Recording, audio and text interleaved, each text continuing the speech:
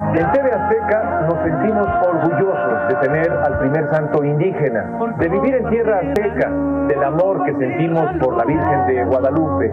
Gracias Juan Diego, por ti conocemos a nuestra madre. Que Dios os haga como Juan Diego. Porque la fe se siente en tierra azteca.